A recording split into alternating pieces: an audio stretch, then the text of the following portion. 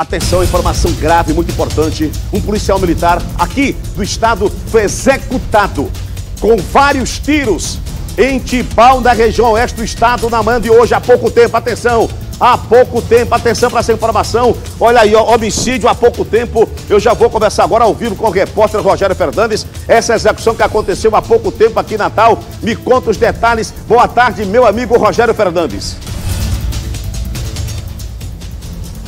Muito boa tarde, Mário. Boa tarde a todos.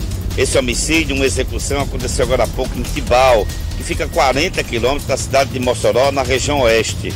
O cabo Joel, que fazia um trabalho, uma viatura na comunidade de Maísa, em Mossoró, estava abastecendo o veículo, na verdade estava próximo ao abastecimento, numa conveniência, um posto de combustíveis, quando foi surpreendido por três homens que usaram armas de diversos calibres, efetuaram vários disparos o cabo não teve a menor chance de reação e morreu no local.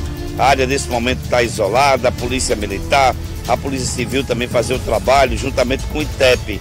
O cabo estava na PM há 14 anos e fazia esse trabalho numa viatura na comunidade de Maísa. Segundo informações, os assassinos, os três que desceram no veículo tipo mob.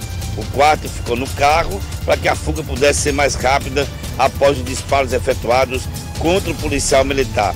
A PM do Rio Grande do Norte não se manifestou oficialmente. A Polícia Civil já cai em campo para tentar descobrir essa motivação.